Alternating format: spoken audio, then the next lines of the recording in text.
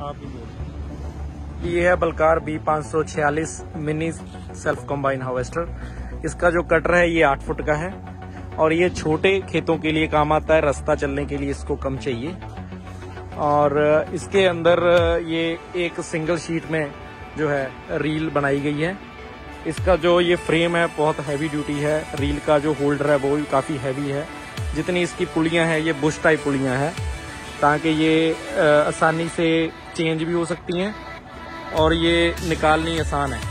बार बार मतलब अगर चेंज भी करना पड़े तो आसानी से बंदा कर सकता है इसको। इसके फिंगर और जो ब्लेड हैं, ये हैवी ड्यूटी हैं, ताकि जल्दी टूटते नहीं। फिंगर का जो वज़न है तकरीबन आम कंबाइनों के मुकाबले ज़्यादा है। तो इससे ये फ़ायदा मिलता है कि इसकी लाइफ ज़्यादा निकलती है।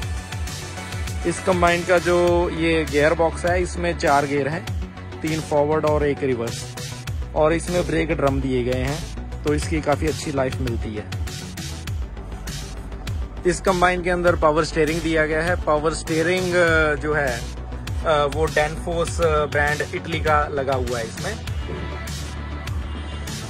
इस कंबाइन में पंद्रह नौ अट्ठाईस के टायर दिए गए हैं आगे, और सात पचास सोलह के टायर पीछे दिए गए हैं। और इसमें चार सिलेंडर का 76 हॉर्स पावर का लेलैंड का इंजन दिया गया है। ये कंबाइन की खासियत ये है कि इसका टर्निंग रेडियस जो है बहुत ही कम है।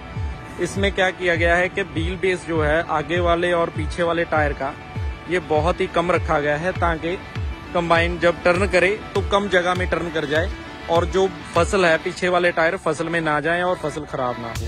तो टर्निंग रेडियस जो है इसका तकरीबन सब कंबाइनों से कम किया गया है। इसमें टर्निंग फास्ट होती है। जितनी टर्न फास्ट ज़्यादा होगी, उतना काम ज़्यादा होगा।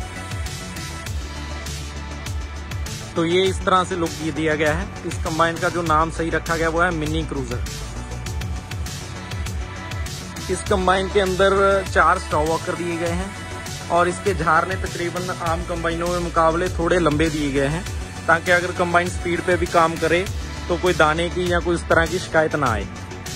तो इसके झारने की लंबाई ज़्यादा है और चार स्टॉवकर हैं जो कि अच्छी तरह शनाई कर देते हैं।